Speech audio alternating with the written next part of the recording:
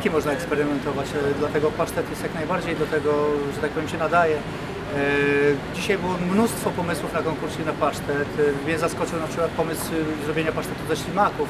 To było totalnie zaskakujące. Chociaż myślę, że idźmy tą drogą. Po to są kucharze, żeby właśnie eksperymentować, żeby naszym gościom podawali jak najdoskonalsze, na jak najbardziej dopracowane dania. Myślę, że jak najbardziej, bo mamy mnóstwo szkół gastronomicznych w całej Polsce.